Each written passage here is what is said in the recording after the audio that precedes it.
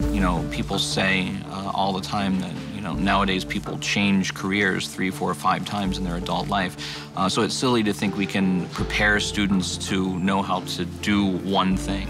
Um, so I think what we focus on is, is training students to be, you know, global citizens who can live in the world and to respond to change and to, um, to intellectually deal with uh, any challenge that's, that's thrown to them. A gente, com nossos professores, a gente decide o que, que a gente vai estudar.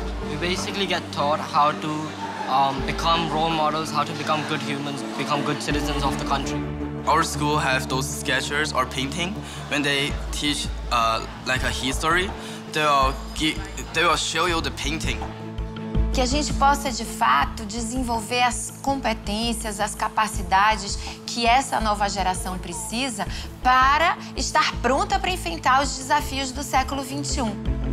Inovar na educação é você tentar pensar em alguma forma onde você consiga é, melhorar o resultado da aprendizagem dos é, educandos. Né?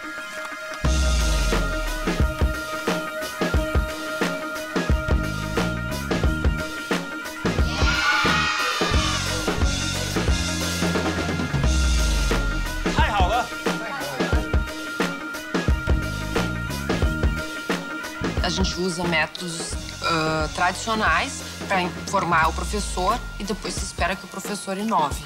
Então, a primeira coisa que a gente teria que mudar, na verdade, é mudar a formação.